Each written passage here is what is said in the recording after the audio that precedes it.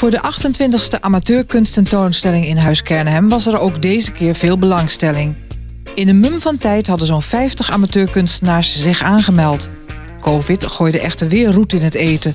Bezoek was tijdelijk niet mogelijk. Door de versoepelingen is daar in aangepaste vorm toch een prijsuitreiking en is de expositie verlengd tot en met 13 februari. Kijken en luisteren, dat is de titel van de kleurrijke expositie waar muziek in zit.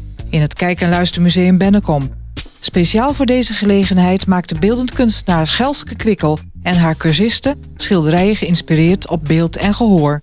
De expositie is te zien tot en met 18 april. Huis Kernhem en het Kijk- en Luistermuseum Bennekom. Te zien in Mooi zo vanaf 14 februari. Graag tot dan!